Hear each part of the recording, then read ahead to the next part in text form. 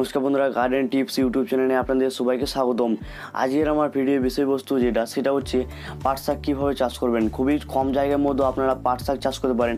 তো কীভাবে করবেন? আমি এই প্রসেসটা আপনাদেরকে এই ভিডিওর মাধ্যমে স্টেপ বাই স্টেপ আপনাদেরকে দেখিয়ে দেবো। যাদের জায়গা কম বা যারা ছাদ বাগান করছ, তারা এই প্রসেসের মাধ্যমে আপনারা খুবই ভালোভাবে পাট শাক বা অন্য কোনো সবজি চাষ করতে পারেন ছাদে।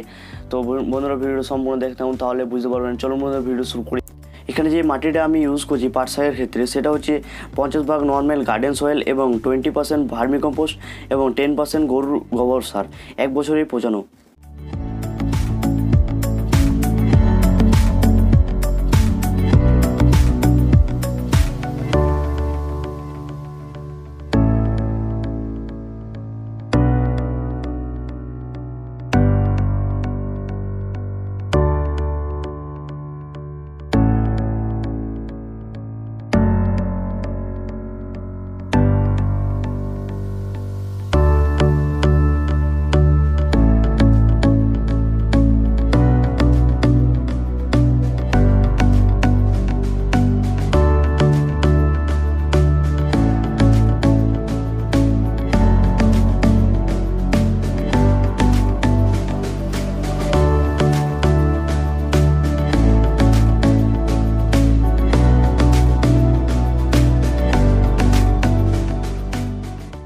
ব্যাগে মাটি ভরা হয়ে যাওয়ার পর তারপর বীজগুলো হালকা হালকাভাবে ছড়িয়ে দেবেন। মোটামুটি পাঁচ, ছটা করে বীজ ছড়িয়ে দেবেন।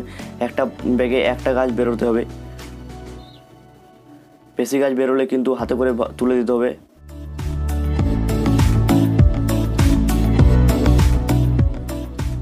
এরপর আমি সেই মাটিটা ফিল করে দিচ্ছি, যাতে বীজগুলো ঢাকা হয়ে যায়, যাতে না পিপুড়ি বা দৌড়াতে বীজগুলো না নিয়ে যায়। তার জন্য আমি মাটি ফিল করে দিচ্ছি ওই মাটিটাই। কোনো আলাদা মাটি নয়।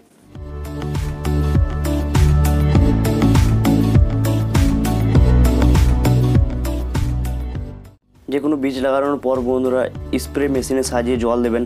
কারণ হচ্ছে মগে বা কোনো হাতে করে জল দিলে বীজগুলো সরে যেতে পারে নিজের জায়গা থেকে। স্প্রে মেশিনের সাহায্যে জল দিলে খুবই ভালো হয়। এই স্প্রের আনবক্সিং আমি করেছি আমার চ্যানেলে আছে। আপনারা প্রয়োজন মনে হলে দেখে নিতে পারেন।